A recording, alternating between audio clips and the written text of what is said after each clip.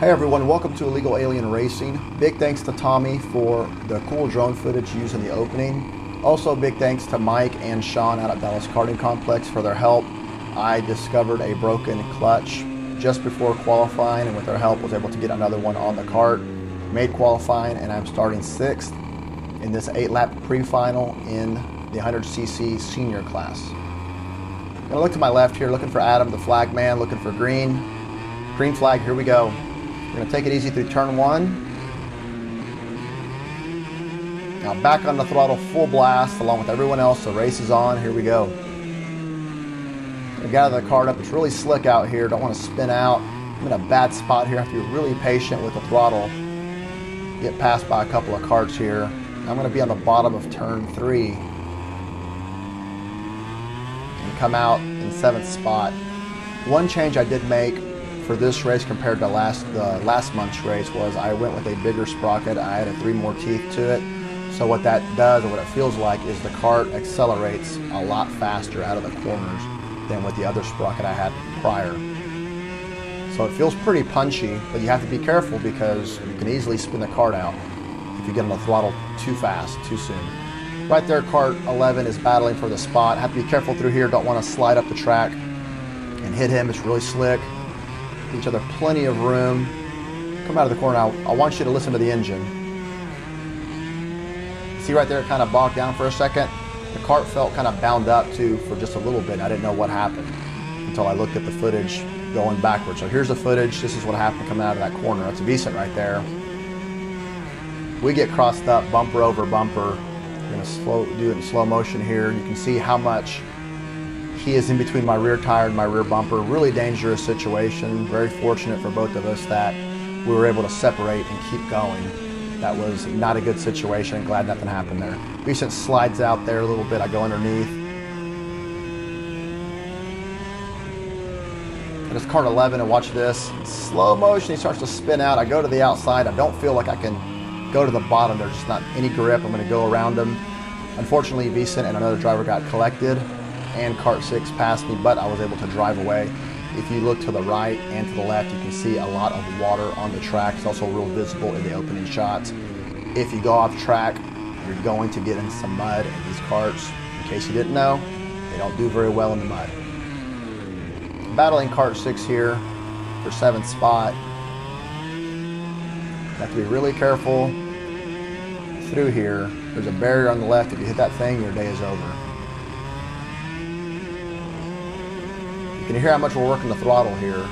It's not just full blast or brakes. You're kind of having to, to work the throttle just a little bit.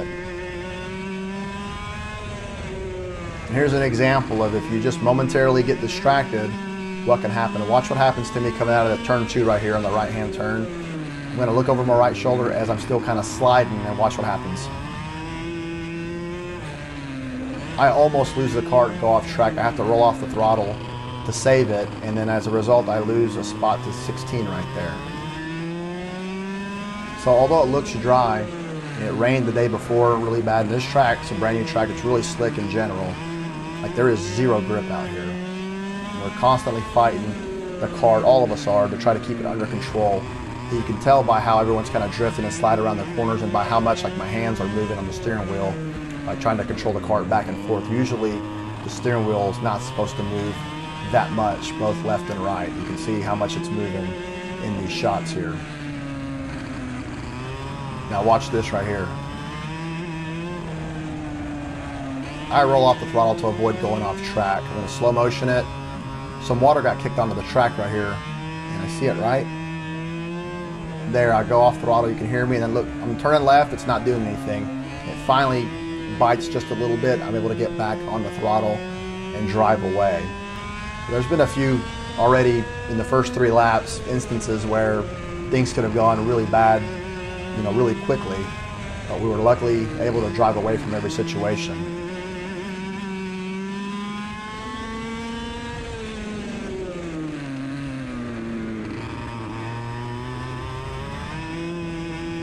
Kind of hanging out behind these guys, waiting for something to kind of happen to, so I can try to take advantage, take a spot away.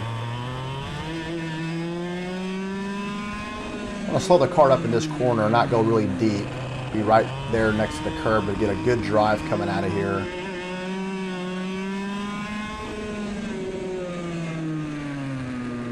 how much we're sliding here. There's a little grip right there actually on the track. Probably the only place on the track that has just a little grip.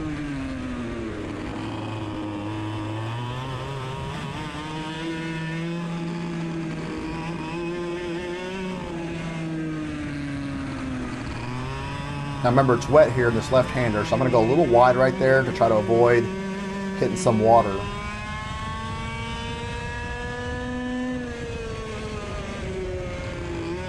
One thing too I was going to say, as far as when I rolled off the throttle to um, avoid going off track, when I was brand new into karting, your instinct is to hit the brakes. And these things only have rear brakes, so if you hit them too hard, you're going to lock them up, you're going to spin. And you just end up being an obstacle for everyone else. So you have to fight the urge to hit the brake. So slowly over time, I've kind of learned that it's best just to roll off the throttle maybe drag the brake a little bit, meaning that I am applying some pressure to the brake, but not nearly enough to lock them up, and just kind of steer around the problem is typically what I've found to be the best thing, and that's you know after listening to some advice from some uh, a lot more experienced karters, and I think they were giving me good advice there because it uh, it seemed to kind of have worked out for me as I progressed in karting a little bit, getting a little bit more experience and seeing some of these situations come up.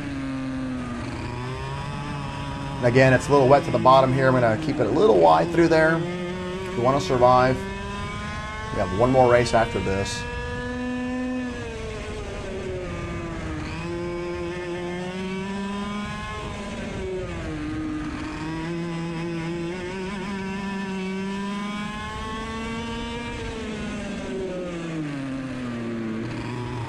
It's pretty odd out here, going as trying to go as fast as you can, but also having to constantly fight the cart to keep it under control.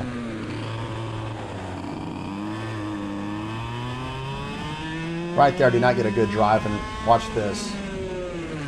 We both get a really bad entry into that corner, really screw that one up. you got to be careful too when you're following someone. Instinctively, you're just want to follow them wherever they go.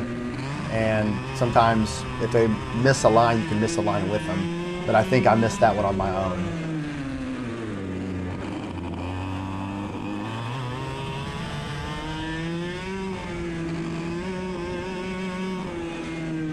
next left-hander is probably dry, so we're going to go take our regular line through there and proceed as normal.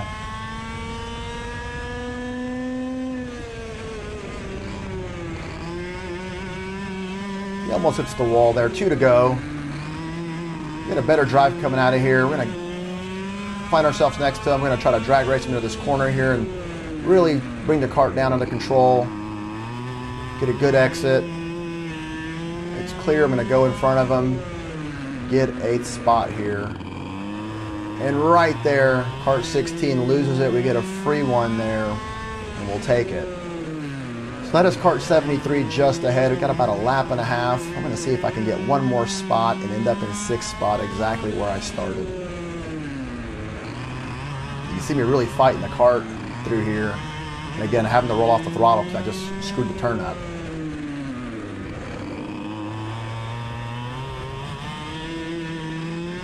It's a lot of fun to drive on this track, but it's also a lot of work. You're just very busy trying to drive these cars. And this track changes. One, you know, one day it could be three seconds faster than the last time you were out here. Um, four seconds slower, just all depends. We're all still getting used to it. Last lap, let's see if we can get a spot here. I make up some pretty good time. And then right here, he rolls off the throttle and I go around him. I talked to him after the race and what happened was he thought the race was over and rolled off the throttle and I was able to pass him. You can see two other carts going around him. Right about here he probably realizes the race is still on. He just got confused and I could definitely see how that could happen. And I guarantee he won't do that again. Now right here, I really screwed this up. Look how deep I go into the corner. You really have to check up to avoid going out into the mud. Look behind us, we're still okay. Just a few more corners left, and we're going to bring this home in sixth spot and survive this race, which I think has been pretty eventful for just a few laps. We've had a lot of action happen. Luckily, I've been able to drive away from all of it.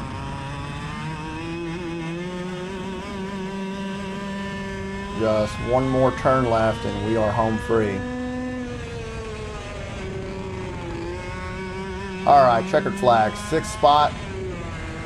We'll take it. Cart's running, and it seems to be running pretty well. So we're going to start in sixth in the final race. Leave me a comment below. Let me know what you think about this race. Also, leave me any questions you may have. I'll try to answer them. Thank you so much for watching, and I will see you on the next one. Y'all take it easy.